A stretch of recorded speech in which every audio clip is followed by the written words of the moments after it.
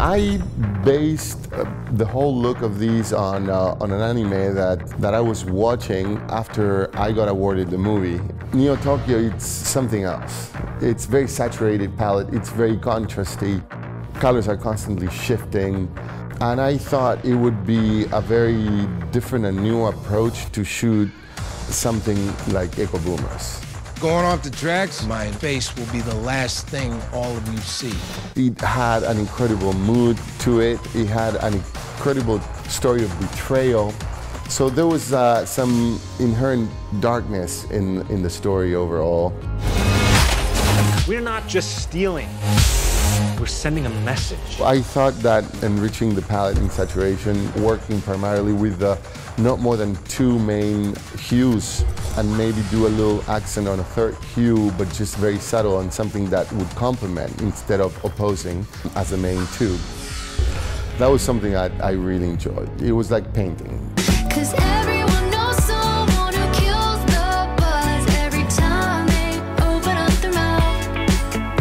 So I started developing this way of lighting almost 360 degrees, working without marks, working without rehearsals.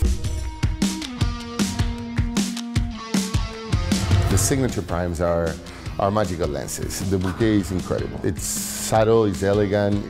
It can be very dreamy too, especially with the magnetic ring behind it and the customized filters that you can do. The signature primes had allowed me to work is to be extremely precise when I need to and to be able to remove that precision with the magnetic filters in the back of the lens when I needed to. So it was literally like having the closest I've had to customize my lenses.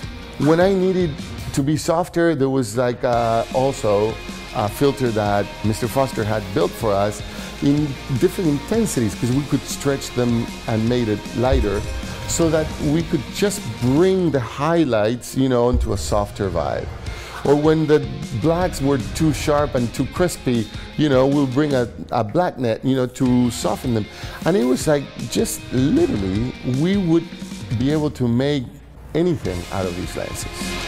It would create a fan of colors that would range from purples to blues and yellows, which were basically the main palette of colors in, uh, in our movies.